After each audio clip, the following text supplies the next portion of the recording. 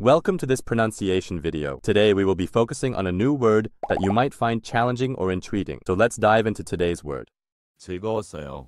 which means, It was fun in Korean. let's say it all together. 즐거웠어요. 즐거웠어요.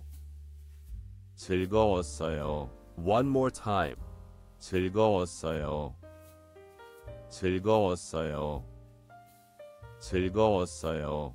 Thank you for joining us on this adventure in pronunciation. Remember, language is a journey, not a destination. Keep exploring, experimenting, and expanding your linguistic horizons. We'll see you next time.